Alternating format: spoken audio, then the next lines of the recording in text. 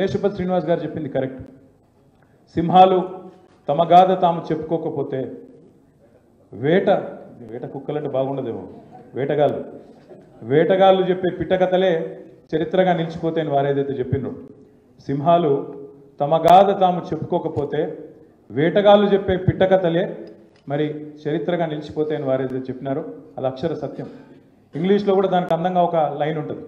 History gets return by the victor అని.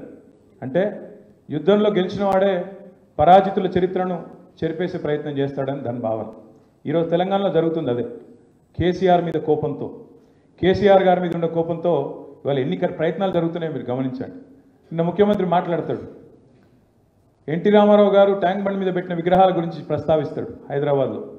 కానీ ఇవాళ మొత్తం హైదరాబాద్ అంతా అచ్చరు పొందే విధంగా చూసే నూట ఇరవై ఐదు అడుగుల నిలువెత్తు అంబేద్కర్ విగ్రహం గురించి మాత్రం ఆయన నోట్లకెళ్ళి మాట వస్తలేదు. అంబేద్కర్ గారి పేరిట కట్టిన అద్భుతమైన సచివాలయం ఒక రాజసౌధం లాంటి ఒక శ్వేత సౌధం లాంటి సచివాలయం గురించి మాత్రం ఒక్క మాట రాదు. ఇవాళ మొత్తం నిఠారుగా నిలబడ్డ పోలీస్ కమాండ్ కంట్రోల్ సెంటర్ గురించి ఒక్క మాట రాదు. అద్భుతంగా హైదరాబాద్లో కట్టిన ఎన్నో ఒకటి రెండు కాదు ఎన్నో ఎన్నెన్నో ఈ పదేళ్ళలో జరిగిన నిర్మాణాల గురించి మాత్రం మాట రాదు. ఎందుకు?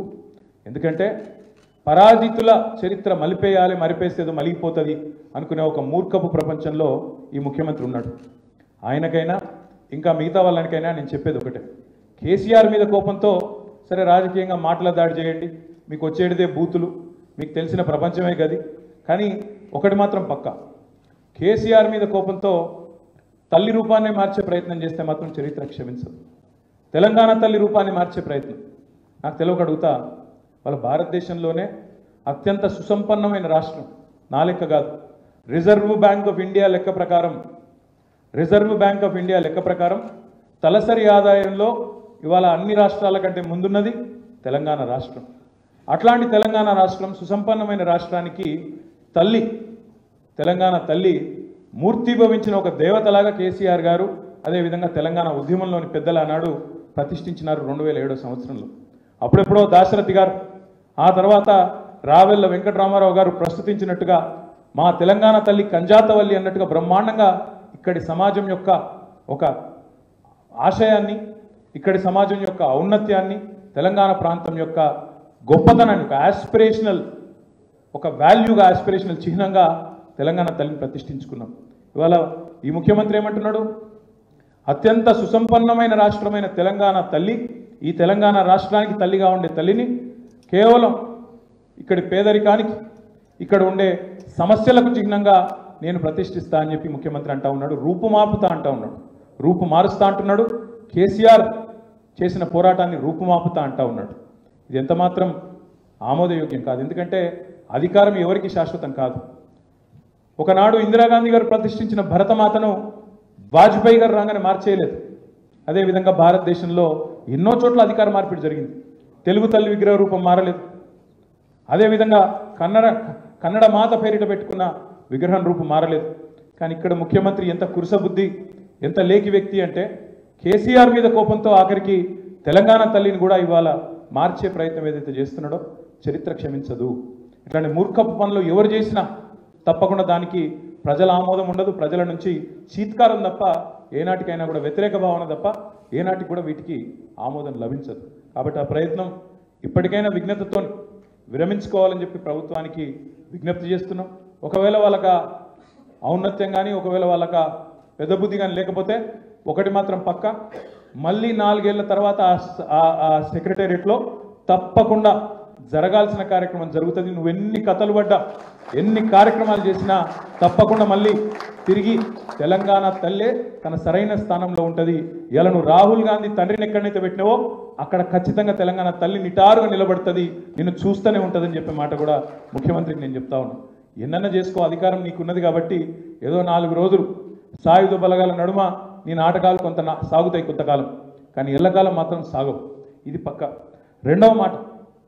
పుస్తకాలు. ఒకటి కాదు రెండు కాదు వేలు రావాలి.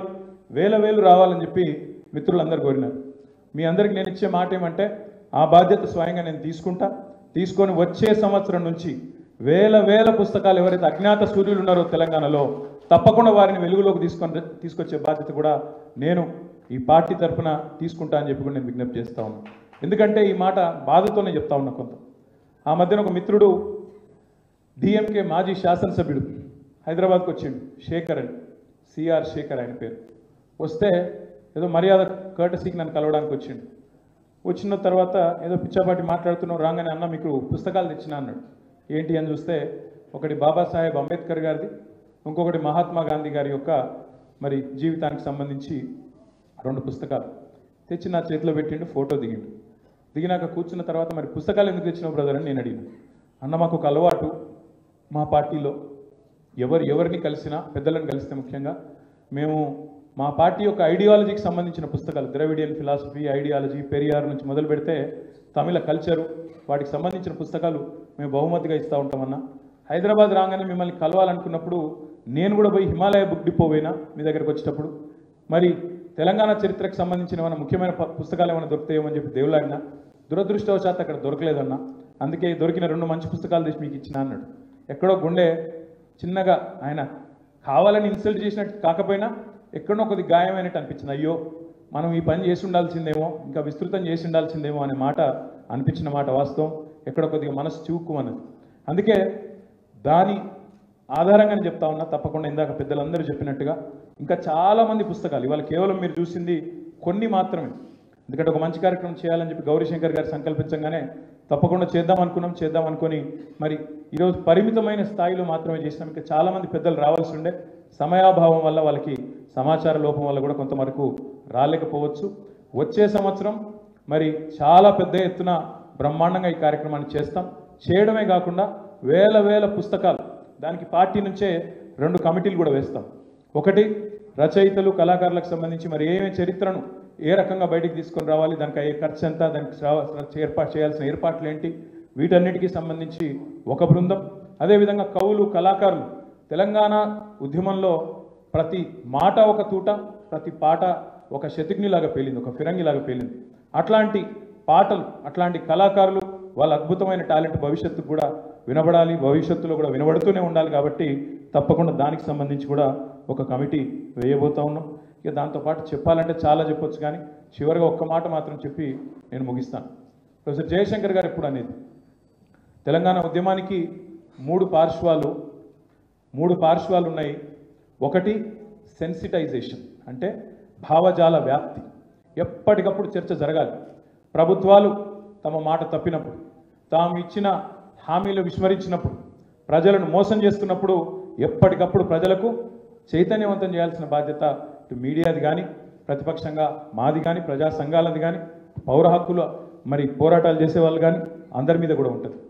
సెన్సిటైజేషన్ అనేది నిరంతరం జరగాల్సిన ప్రక్రియ మూడు వందల అరవై ఐదు రోజులు ఇరవై నాలుగు గంటలు ఏ రూపంలో అయినా మీడియా రూపంలో సోషల్ మీడియా రూపంలో పాటల రూపంలో మరి అదేవిధంగా సినిమాల రూపంలో నవలల రూపంలో రకరకాలుగా జరగాల్సిన కార్యక్రమం. రెండవది యాజిటేషన్ ఆందోళన పదం. ఆందోళన పదం ఎప్పుడు? అవసరమైనప్పుడు సందర్భమైనప్పుడు సందర్భం వచ్చినప్పుడు. మన లగచర్లో వచ్చింది. ఈ అదానీ గారి విషయమే వచ్చింది. అదే మాదిరిగా ఇంకా చాలా విషయాల్లో ఇప్పుడు గురుకుల బాట నడుస్తున్నది. అట్లా సందర్భం వచ్చినప్పుడు ప్రజల దృష్టికి సమస్య యొక్క తీవ్రతను తీసుకొని పోవాల్సిన సందర్భం ఏర్పడ్డప్పుడు ఔచిత్యాన్ని బట్టి ఆ రోజు ఆందోళన పదంలో కూడా పోవడానికి వెనుకాడవద్దు. ఎప్పటికప్పుడు ఆందోళన పదంలో కూడా సందర్భాన్ని పెట్టిపోవాలి ఇక మూడవది డెమోక్రటైజేషన్. అంటే అల్టిమేట్గా ప్రజాస్వామ్యంలో మరి తలరాత రాసేది ఎన్నికలు ప్రజలు అల్టిమేట్గా ప్రజలే రాస్తారు ఆ ఎన్నికల్లో వారే కీలక భూమిక కాబట్టి ఆ ఎన్నికల్లో పాల్గొనడం ద్వారా ప్రజాస్వామికంగానే మన యొక్క డిమాండ్ను మన యొక్క హక్కులను నెరవేర్చాలి నెరవేర్చుకోవాలి అనే మాట జయశంకర్ గారు ఎప్పుడు చెప్తూ ఉండేది. మరి ఈ మూడు అంకాల్లో కూడా సెన్సిటైజేషన్లో యాజిటేషన్లో డెమోక్రటైజేషన్లో మూడింట్లో కూడా కవులు కళాకారులు రచయితలు సాహితీవేత్తల పాత్ర ఎంతో ముఖ్యమైనది కాబట్టే ఈ దీక్షా దివస్ సందర్భంగా వారు తెచ్చిన ఈ పుస్తకాలు వారు తీసుకొచ్చిన వివిధ రూపాలను వాళ్ళు ప్రదర్శించడం ఇక్కడ జరిగింది.